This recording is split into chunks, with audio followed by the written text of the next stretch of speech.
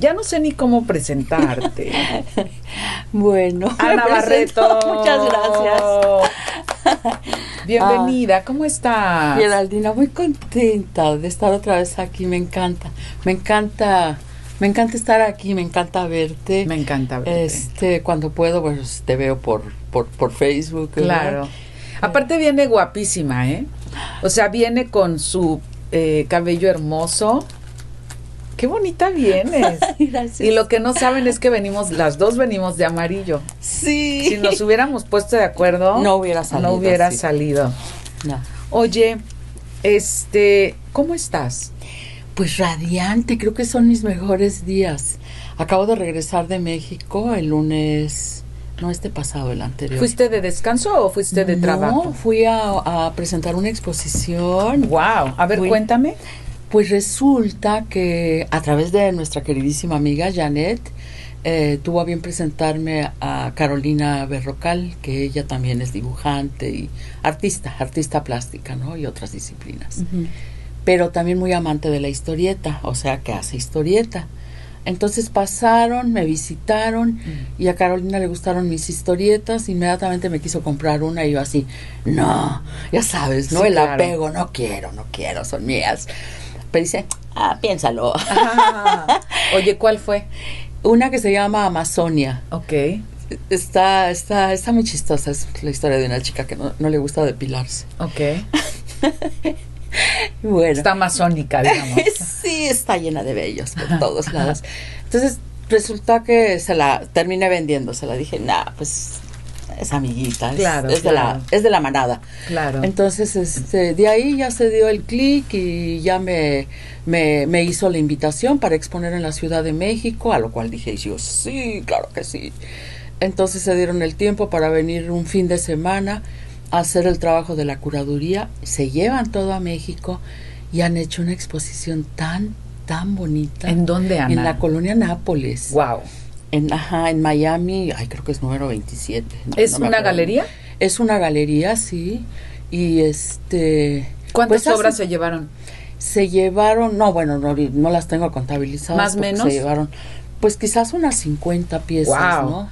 De toda, de toda tu de obra. Todo. No de solo todo. storyboards, sino. No, no, no, de storyboards no apareció ninguno, Okay. solamente se llevaron historietas de finales de los años 80 y unas historietas que estuve haciendo a, a, a, a pesar o a favor de la, de, la, de la pandemia, ¿verdad? Toda esta incertidumbre que se vivió los primeros ¿Y días. cuadros también se llevaron? No, solamente fue obra gráfica Ok.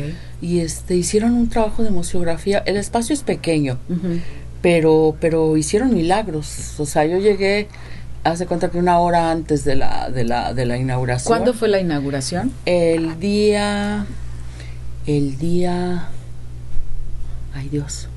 Me Viernes, jueves. Fue un viernes, Un viernes. Fue un viernes, sí. ¿Este el qué 18, pasó? El 18, Ok. el 18 Ok. de, de, de noviembre. Y la sorpresa tan grande, aparte de ver el montaje. La gente. La gente. Claro. Giraldina fue una cantidad increíble de jóvenes, hombres y mujeres, Claro. que jamás me esperé, porque bueno, yo invité a mis amigas, a mis pocas amigas de por allá, las feministas, las pioneras, y sí, afortunadamente me acompañaron, ¿no? Llegó la banda capulqueña también. ¿En serio? Sí, Claro. Llegó Jesús Escabernal, llegó Roxana Cortés, llegó Amairani, bueno, este Liliana Solís, entonces estaba yo, dije, ay Dios, esto es un sueño. esto es un Estabas sueño". feliz. Feliz, feliz, feliz. Va a permanecer durante un mes. Es lo que te iba a preguntar. ¿Hasta diciembre? ¿18? Hasta diciembre, más o menos por, por el día 18. Está... Porque voy a ir y la voy a ir a ver. Obviamente. sí, muchas gracias. Es material inédito. wow. Hay- hay ¿Está a la mucho. venta el material? Este, sí, yo creo que después de la exposición va a haber ahí. Sí sabes lo que va a pasar. Sí. Sí sabes. Eh, eh, sí, bueno, creo, lo sospecho, lo intuyo. Tenemos planes de traer la exposición aquí a Acapulco, porque te repito, es material inédito y este y bueno, pues es otra faceta mía, ¿no? Es es otro abrirme y así que pues también soy esta. Eres una gran artista. Muchas gracias. Lo eres. Pues la pasión, la pasión. Sí, claro. no me deja. Lo eres y, y te voy a decir algo. Este, yo creo que que cuando uno ve que en otros lugares, lo tengo que decir como es, ¿eh? porque lo tengo que decir y, y asumo mi, mi comentario, cuando uno ve que en otros lugares aprecian mucho más, híjole, se mueve todo, ¿no, Ana? De pronto. Se está moviendo todo, porque de esta exposición ya surgieron tres invitaciones. Claro. Para el año 23, en marzo, va a haber una colectiva en el Museo Carrillo Gil, número uno. También en el 2023 va a haber otra en la sala José María Velasco. Y para el año 24 también probablemente una individual o a dúo en la José María Velasco. Entonces estoy así impactada. Digo, ay, ¿qué está Tenía pasando? que pasar. ¿Qué tenía está que pasar. Yo te lo dije el año pasado. sí. Bueno, es que Ana siempre ha estado en muy buen nivel. Esto no es nuevo para ti, yo lo sé. Pero siento que es un impulso muy fuerte a experimentar o a regresar o a expandir tu arte lo más que se pueda. Y eso tiene que pasar. Sí, pues Eso está pasando. está pasando, ya empezó, empezando así que no, no quepo en mí de la. ¿Y estás creando ahora? Sí, pues justamente ayer terminé la última, eh, la última pintura que, que, que se va a exponer el, el este viernes. Y ¿Por qué huellas del silencio? porque, bueno, ah, este trabajo, no, no sé cómo sean los otros procesos creativos, pero hay una primera parte cuando, cuando se da la creación donde está uno pues en silencio, ¿no? Aislada, aislada totalmente y confrontada contigo mismo, con tus pensamientos, buenos y malos. Todo, es, es como una meditación, ¿no? Todo, todo pasa por ti, pero, pero en la soledad, aunque no debería de ser así, ¿verdad? Porque ahí andan mis gatos.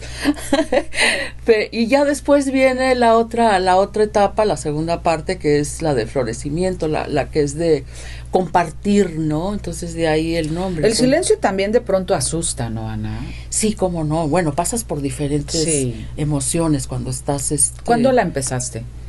cuando, cuando empecé todo este trabajo, pues es obra reciente, solamente hay una, una pieza que es del 2021 y todas son de este, de este año, del 22. Ahora. He- ahora he pintado más. Claro. Bueno, a ver. Este año ha sido un año, ¿no? Sí. sí. Duro, fuerte, ¿no? Pero aparte, o sea, aparte de que tú y Luis ya se querían, sellaron. Lo amo, Sellaron, ¿no? Y quiero decirle a la gente que nos esté escuchando que Huellas del Silencio es una exposición que se va a inaugurar el 2 de diciembre Sí. en el marco del aniversario de eh, la quebrada Espacio de Arte de nuestro querido Luis Arturo Aguirre, ¿no? Así es. Entonces, ¿cuántas obras son? Son 11 obras, son 11 obras las que van a estar expuestas y, y es el número perfecto para, para, para su espacio, ¿no? no Sí, sí, sí, sí, sí. Sí, no, no, no, este, pues no se trata de saturar, ¿no? Es un espacio muy cómodo, muy apapachador, muy familiar. Es hermoso. Sí, me Es encanta, hermoso. me encanta. Voy a ir a una pausa. Son las 9 de la mañana con 42 minutos. Voy a ir a una pausa y este está increíble eh, la posibilidad de que de que un espacio independiente pues reciba, invite y haga equipo con pues una pintora como tú, como una creadora como tú, una artista como tú. Estás increíble. Estoy muy contenta. Sí, ya vi. Vamos y volvemos.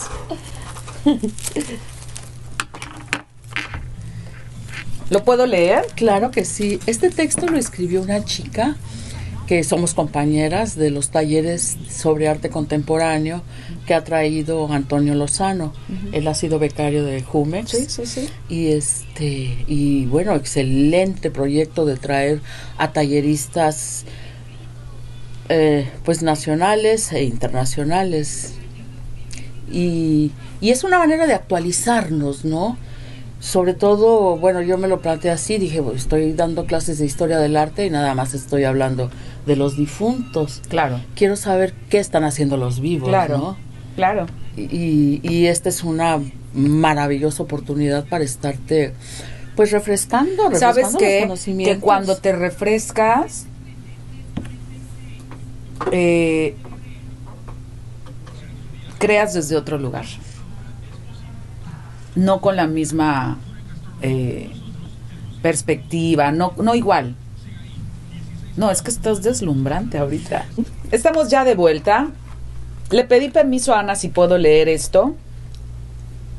Dice Huellas del Silencio recibe por nombre esta exhibición pictórica conformada por 11 cuadros, acreditados con la intención de simbolizar un diálogo interno entre los elementos cromáticos que complementan el imaginario del artista plástica Ana Barreto, así como la inclusión de los simbolismos que juegan un papel importante en el imaginario de los acapulqueños.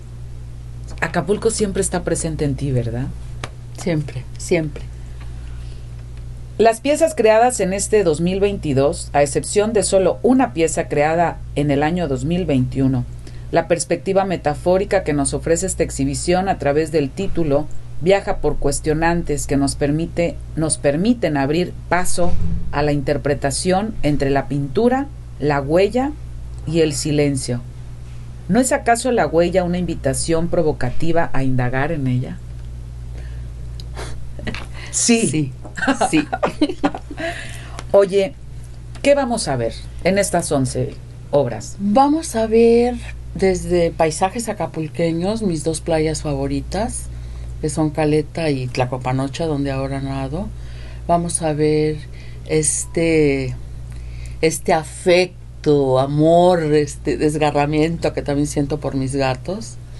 Un gato que me acompañó durante casi toda la pandemia y un día... ¿Cómo un se día llama el blanco que has pintado? Marcelo. Es Marcelo. Marcelo, ¿Es- ahí ¿Está, está. contigo aún? No, se ya fue. no. Un día se, se fue.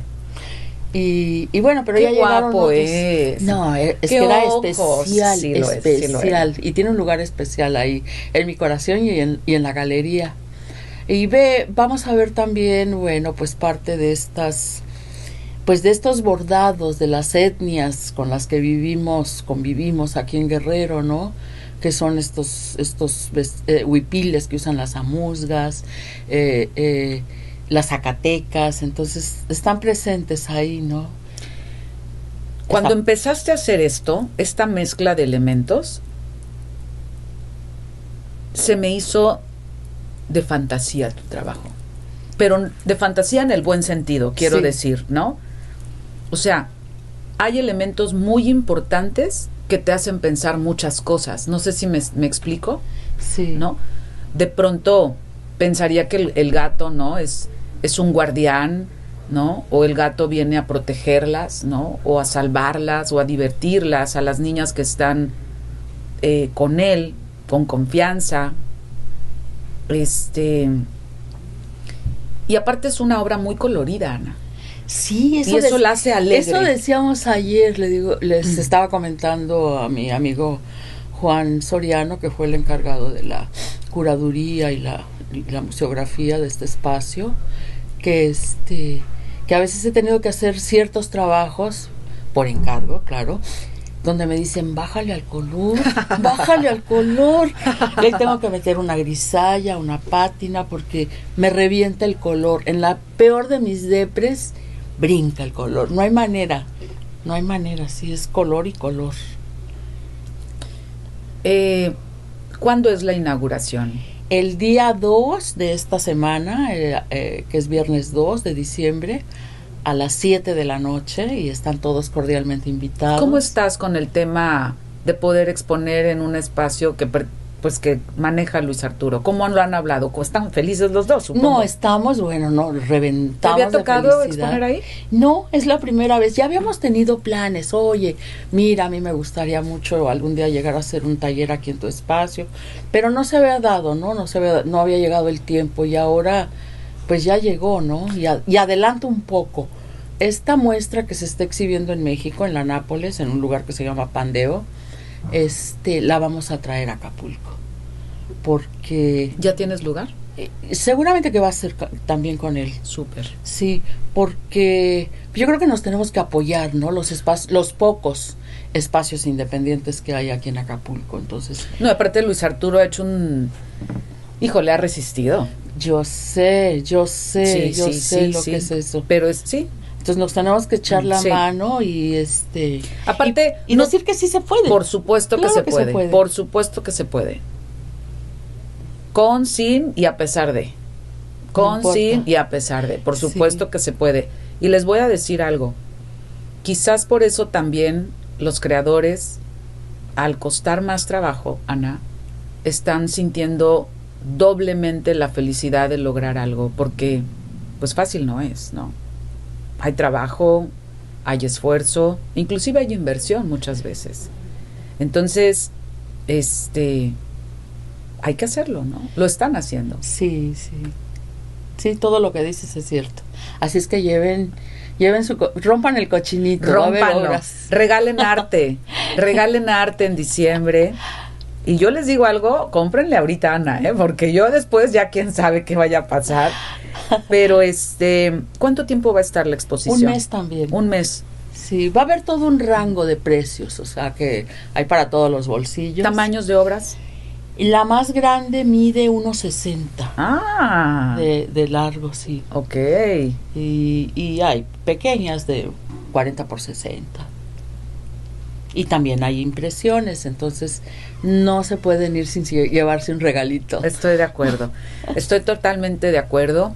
¿Qué mensaje le darías a la gente, Ana? Que hoy nos escucha, que hoy este eh, pues tiene la, la tiene tu atención. Es que tienen que ir a la exposición. No vas de estar viendo el, el, la invitación. Ya hasta lo quiero mandar a encuadrar esto. Mira nada más qué belleza. ¿Qué le dirías a la Muchas gente? gracias. Bueno, pues los quiero hacer partícipes, cómplices, este, de esta, pues de esta alegría tan grande. Acérquense. eh, de veras que creo que se la van a pasar muy bien. Es un espacio que, que merece que merece ser visitado, no solamente por mi, mi exposición, en este caso es mi exposición, pero siempre se están presentando cosas alternativas y creo que es un- el único lugar en Acapulco donde, donde se ofrece esta, esta, esta, esta alternativa. Entonces, no se pierdan la oportunidad, no cuesta, vayan, nada más tienen que caminar. Además es muy accesible, está en pleno centro, en el corazón de Y Acapulco. el lugar en sí es estupendo. Es apapachador, estás en contacto con una zona eh, hermosísima del puerto, con la zona tradicional, con estas plantas, ¿no? Con la botánica subtropical que también tiene arriba. Este eh, es hermoso. Vayan, hay que apoyar a Luis Arturo, hay que apoyar a Ana y hay que apoyar estas sinergias que están sucediendo. Te quiero mucho. Muchas gracias. Felicidades. Gracias, Geraldina, yo también te quiero mucho. Voy con música y regreso. Vayan el 2 de diciembre, es eh, viernes, este viernes 2 de diciembre a las 7 de la noche en La Quebrada Espacio de Arte, que está justo ahí en la calle Quebrada. Vamos y volvemos. Muchas gracias.